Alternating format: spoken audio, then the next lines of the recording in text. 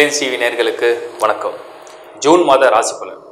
June மாத ராசி பலனை டீட்டெயிலாக உங்களோட நான் ஷேர் பண்ணுறேன் நீங்கள் ராசியை பார்க்கும்போது உங்களுடைய லக்னமும் அந்த மாதிரி அதாவது இங்கே உதாரணத்துக்கு மேஷ ராசினா மேஷ ராசி பலன் மட்டும் பார்க்காம உங்கள் லக்னம் மிதமாக இருந்தால் மித ராசிக்கும் பலனை பார்த்து புரிஞ்சுங்க. இந்த மாதத்துடைய பிளானரி பொசிஷனை டீட்டெயிலாக அனலைஸ் பண்ணி எதெல்லாம் வக்கரமடைஞ்சிருக்கு எது வக்கரம் அடையாமல் இருக்குது இப்படிப்பட்ட பலன்கள் உண்டாகுன்றதை பாருங்கள் உங்கள் நண்பர்களோட உறவுகளோட ஷேர் பண்ணுங்கள் விருச்சிக ராசி ஜூன் மாத பலன்கள். விருச்சிகம். இந்த ராசி பலவிதமான கஷ்டங்களை வந்து அனுபவிக்கிறதும் அதை ஃபேஸ் பண்ணுறதும் அந்த சேலஞ்சை முறியடிக்கிறதும் அடிப்படையாக அந்த ராசிக்கே ஒரு பலன் உண்டு. இப்போ ஜூன் மாதத்தில் எப்படிப்பட்ட கிரக அமைப்புகள் இருக்குது விருச்சிகத்தை பொறுத்த வரைக்கும் செவ்வாய் இந்த மாதம் வந்து நான்காம் இடத்துல கும்பமில் ஒரு ஸ்ட்ராங்கான பொசிஷனில் தான் ஹோல்ட் ஆகிறார் ஸோ இந்த செவ்வாயுடைய பார்வை எங்கே இருக்கும்? பத்து பதினொன்றில் செவ்வாய் பத்தாம் இடத்துலையும் பதினோராம் இடத்துலையும் பார்க்கும் பொழுது விருச்சிக ராசியை பொறுத்த வரைக்கும் அவங்களுடைய கரியர் ஃபோக்கஸ் அவங்களுடைய கெயின் ப்ராஃபிட் ஃபோக்கஸ் ஸோ இந்த மாதம் முழுக்க மைண்ட் செட் முதல்ல நம்ம வந்து எயிட்டீன்த் ஆஃப் ஜூன் வரைக்கும் வச்சுக்குவோம். ஏன்னா பதினெட்டாம் தேதி இந்த செவ்வாய் வந்து டிரான்சிட் ஆகுது. ஐந்தாம் இடத்துக்கு போயிடும். அப்போது பதினொன்று பன்னிரெண்டாம் இடத்துல அதோடைய பார்வையை பதிக்கும். இன்னொன்று செவ்வாய்க்கு நாலாம் பார்வையும் உண்டு. இப்போ வந்து நாலில் செவ்வாய் இருக்குன்னு வச்சுங்க நான்கு ஐந்து ஆறு ஏழு செவன்த் ஹவுஸ்லேயும் அந்த பார்வையை பதிக்கும். ஸோ இந்த மாதம் முதல்ல விருச்சிக ராசிக்காரர்களுக்கு என்ன மாதிரியான மனநிலை இருக்கும் அப்படிங்கிறத நம்ம பார்த்தோம்னா career and profit career and gain எப்படி பணம் பண்ணலாம்? எப்படி வந்து வேலையில் நம்ம ஸ்திரத்தன்மையை நம்ம ஹோல்ட் பண்ணலாம்? எப்படி இந்த பிஸ்னஸ் பண்ணலாம்? எப்படி இந்த ப்ராஜெக்ட் எடுக்கலாம்? எப்படி இன்வெஸ்ட் பண்ணலாம்? யார்கிட்ட இன்வெஸ்ட் பண்ணலாம்? எப்படி நம்ம ஒரு கூட்டாளியை சேர்ப்போமா? தனியாக பண்ணுவோமா? என்ன மாதிரி முடிவுகள் எடுப்போம்? இல்லை ஃப்யூச்சரில் இதை வந்து தள்ளி போடுவோமா? இது மாதிரி சிந்தனைகள் கிட்டத்தட்ட இந்த மாதம் முழுக்க இருக்கும். இது வந்து உங்களோட மைண்ட் செட் அதே மாதிரி செவ்வாய் நான்காம் இடத்துல இருந்தால் ப்ராப்பர்ட்டி வாங்குறது ப்ராப்பர்ட்டி விற்கிறது வீடு ஷிஃப்ட் பண்ணுறது ஷிஃப்ட் பண்ணுற ஒரு பிளான் வீடு ரெனிவேஷன் இதெல்லாம் கூட ஒரு பிளானாக வரும். இதெல்லாம் செவ்வாய்க்கு உண்டு. மருத்துவ செலவு ஃபேமிலி மெம்பர்ஸ்க்கு யாராவது ஹெல்த் சரியில்லைன்னா அதை எப்படி க்யூர் பண்ணலாம்? எப்படி குணப்படுத்தலாம்? இந்த மாதிரி ஐடியாஸ் தான் ஃபுல்லாக போகும். மற்ற பிளானட்ஸ்லாம் என்ன செயல் பண்ண போகுது? ஏழில் வந்து சுக்கரனும் சூரியனும் இருக்குது மந்தோடைய பிகினிங்கில் இதில் சுக்கரன் வந்து வக்ரம். சூரியனோட சேர்ந்த சுக்கரன். கரியர் அதாவது உங்களுடைய விருச்சிகத்தை பொறுத்த வரைக்கும் உங்களுடைய கரியர் பிளானட் வந்து சூரியன். சுக்கிரனோட இணைஞ்சிருக்கு. ஏழு குடியன் பத்து குடியன் இணைவு. நல்ல விஷயமா? நல்ல விஷயம்தான். அப்போ உங்களுக்கு ஜாப் கரியர் இது ரிலேட்டடாக எடுக்கக்கூடிய முயற்சிகளுக்கு சூரியன் ஃபேவர் பண்ணும். ஃபர்ஸ்ட் ஆஃப் வரைக்கும். அதே ஃபோர்டீன்த் ஆஃப் இந்த ஜூன்லேருந்து சூரியன் வந்து புதனை ஷிஃப்ட் பண்ணிக்கும். அதாவது புதனோடு சேர்ந்துரும். இப்போ சூரியன் எட்டாம் இடத்துக்கு போயிடும். இந்த இடத்துலலாம் சில சிக்கல்கள் வருது. சூரியன் உங்களுடைய ராசி விருச்சிகம் அல்லது உங்களுடைய லக்னம் விருச்சிகமாக இருந்ததுன்னா அங்கேருந்து அது எட்டாம் இடத்துல சூரியன் போகும்பொழுது அதில் வந்து தேவையில்லாத பிரச்சனைகள் கரியர் ரிலேட்டாக வரத்துக்கு சான்ஸை கிரியேட் பண்ணும். அந்த சூரியன் இருக்கிற வீட்டுக்கு சனி எட்டாம் இடத்துல சந்திக்கும். செவ்வாய் இருக்கிற வீட்டுக்கு இந்த சனி வந்து பன்னிரெண்டாம் இடத்துல சந்திக்கும். இதுதான் நம்ம பாயிண்டாக எடுத்துக்கணும். விருச்சிகமை பொறுத்த வரைக்கும் பாசிட்டிவாக ஒரு சைடு இருந்தாலும் கூட நெகட்டிவாக என்ன நடக்குதுன்னா சூரியனுக்கு சனி எட்டில் சந்திக்கும் பொழுது உங்களுடைய கரியர் ரிலேட்டடாக இந்த செகண்ட் ஆஃப் ஆஃப் ஜூனில் வந்து கொஞ்சம் கவனமாக இருக்கிறது நல்லது. இது இப்படியே தான் நடக்குமான்னு கேட்டிங்கன்னா உங்களுடைய பேர்த் சார்ட்டை செக் பண்ணிக்கங்க. சூரியன் சனி இதே மாதிரி அந்த எட்டாம் இடத்துலையும் ஆறாம் இடத்துலையும் அந்த கனெக்டிவிட்டி இருக்கான்னு பார்க்கணும். உங்கள் ஜனன காலத்தில் அந்த மாதிரி ஒரு கனெக்டிவிட்டி இருந்ததுன்னா அதில் சூரிய தசை சூரிய புத்தி சனி தசை சனி புக்தி நடந்ததுன்னா இந்த பிரச்சனைகளை கொடுக்கும். லைஃப் ஹாரோஸ்கோப் டாட் இன் இந்த வெப்சைட்குள்ளே போனீங்கன்னா உங்களுக்கு முதல்ல பேர்த் சார்ட் ஜென்ரேட் பண்ணிவிட்டு உங்களோட ராசி சக்கரத்தை நீங்கள் பார்த்து தெரிஞ்சுக்கலாம். ரைட் இப்போது மற்ற பிளானட்ஸ் ஏதாவது ஹெல்ப் பண்ணுமா? புதன் எட்டில் எட்டாம் இட அதாவது எட்டு கூடியவன் எட்டாம் இடத்துல. இதை வந்து விபரீத ராஜயோகம்னு சொல்லலாம். பட் ராகுவோடு சேர்ந்துருக்கு. ஆல்ரெடி ராகு எட்டு கேது ரெண்டு குடும்ப வாழ்க்கை குடும்பஸ்தானம் தனஸ்தானம் அந்த இடத்துல எட்டாம் இடம்.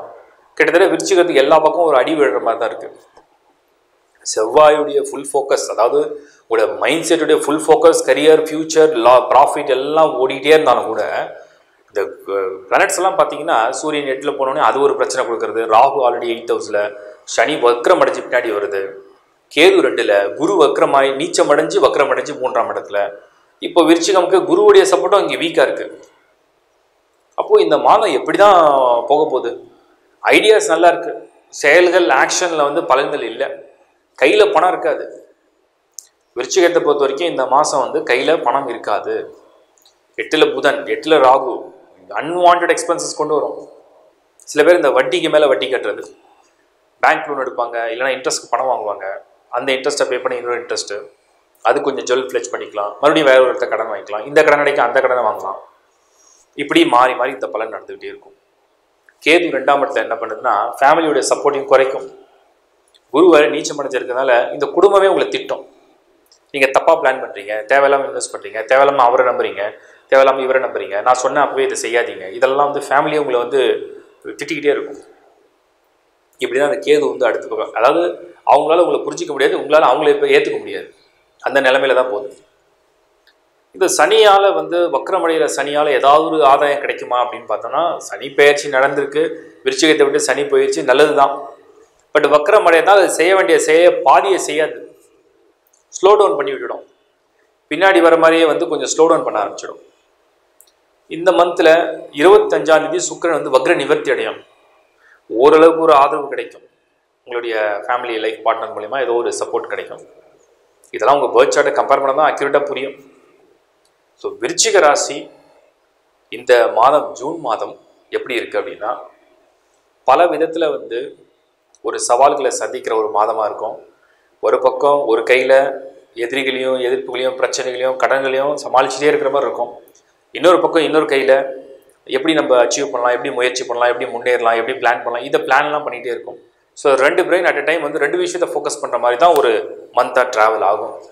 ஓவரால் ரீடிங் விருச்சிக ராசிக்காரர்கள் கொஞ்சம் நிதானமாக சில விஷயத்தில் யோசிச்சு முடிவு எடுக்கலாம் மெயினாக ஒர்க் பண்ணுறவங்க எம்ப்ளாயீஸாக இருக்கிறவங்க யார்கிட்டையும் பகைமை பாராட்டாமல் அதாவது முடிஞ்சால் சீனியர்ஸ் கிட்ட வந்து எந்த ஆர்கியூமெண்ட்டும் பண்ணாமல் தேவையில்லாத விஷயங்களை வந்து கிளறாமல் தேவையில்லாத விஷயத்த பேசாமல் அமைதியாக விட்டால் ஓரளவுக்கு சேஃபாக இருக்கலாம். ஹெல்த்லேயும் கான்ஷியஸாக இருங்க. ட்ராவல் பண்ணும்போது ரொம்ப ரொம்ப கான்ஷியஸாக இருங்க. பெஸ்ட் விஷஸ் இப்போ நீங்கள் பார்த்தது ஒரு பொதுவான பலன்.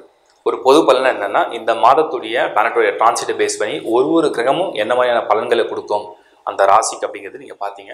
இதை தவிர உங்கள் லக்னத்துக்கும் அதை நீங்கள் மேட்ச் பண்ணிக்கலாம். இதையும் தாண்டி நீங்கள் அஸ்ட்ராலஜி புரிஞ்சுக்கணும் அப்படின்னா உங்களுடைய பேர்த் சார்ட்டை முதல்ல ரீட் பண்ண கற்றுங்க பேசிக் நாலேஜ் ஆஃப் அஸ்ட்ராலஜி அப்படின்னா என்ன நைன் பிளானட்ஸுடைய தத்துவம் என்ன?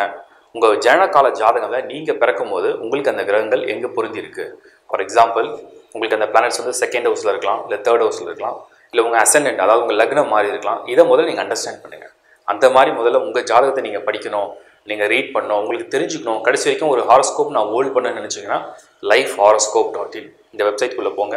ஸோ லைஃப் ஆரோஸ்கோப் டாட் இனில் போனீங்கன்னா முதல்ல ஒரு சாம்பிள் ஹாரோஸ்கோப் இருக்கும். அதை டவுன்லோட் பண்ணி பாருங்கள் அதுக்கு பிறகு உங்களுக்கு உங்கள் ஹாரோஸ்கோப்பை ஜென்ரேட் பண்ணணும்னா அதில் ஹாரோஸ்கோப் ஜென்ரேட் ஒரு ஆப்ஷன் இருக்கும்.